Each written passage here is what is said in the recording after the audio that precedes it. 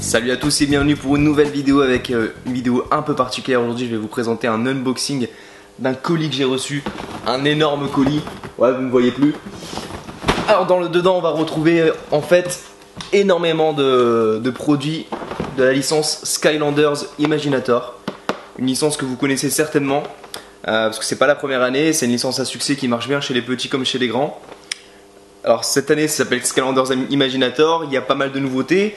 La première nouveauté c'est ce petit euh, cristal qui permet de créer son propre personnage dans lequel vous allez pouvoir faire les caractéristiques que vous voulez, donc la création du personnage de A à Z au niveau du design, de la voix, euh, de ses capacités, de ses techniques, un peu comme quand on crée un personnage dans DBZ. Donc ça c'est cool. La deuxième nouveauté, c'est la licence Crash Bandicoot qui rentre à l'intérieur avec des figurines. Donc on voit ici Crash et on a ici Dr Nero. Donc ils sont les deux figurines euh, autour de la licence. Alors je suis pas hyper fan, pourtant j'adore Crash. J'aurai une peluche qui traîne ici d'ailleurs. Hop, la voici. Euh, c'est pas hyper hyper ressemblant, je vous ferai des zooms euh, dessus bien sûr. Mais bon, je suis content qu'elle revient et surtout pour pour y avoir joué euh, à la Gamescom, on retrouve vraiment l'ambiance sonore et un peu le gameplay de Crash et ça c'est vraiment cool. On va continuer l'unboxing avec une boîte vide parce que c'était la boîte où il y avait les Crash.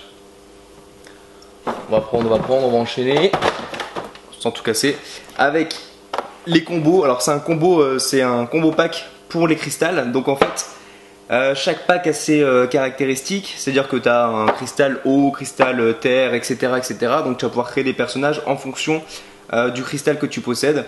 Donc il ouais, y a magie, il y a la terre, l'eau, la lumière, les ténèbres, tout ça, tout ça. Tech, voilà. Je trouve le- par contre, je trouve le packaging vachement réussi cette année. Je le trouve beaucoup plus beau que les années précédentes. C'est vraiment une belle surprise.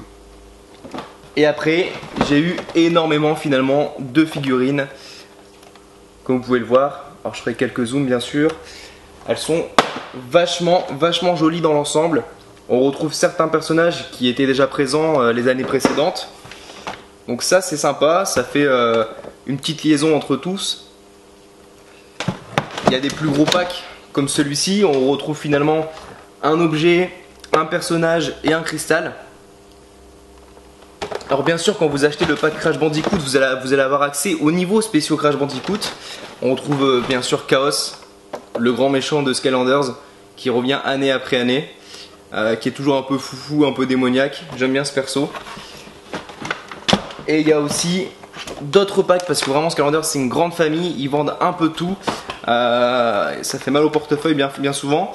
Il y a ces nouveaux packs où vous pouvez donc, voilà, c'est un truc un peu au hasard.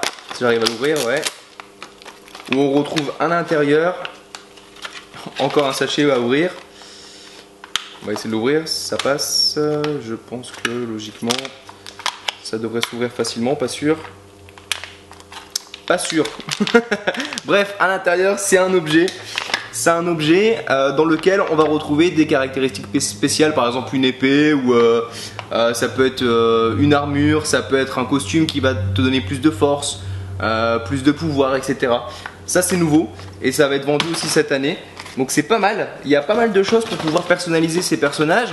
Il y a pas mal de personnages encore une fois. Voilà, il y en a, des dizaines et des dizaines et des dizaines. Et au fur et à mesure de l'année, il y en aura encore des dizaines en plus. Euh, moi, je vais principalement jouer pour faire les niveaux de Crash.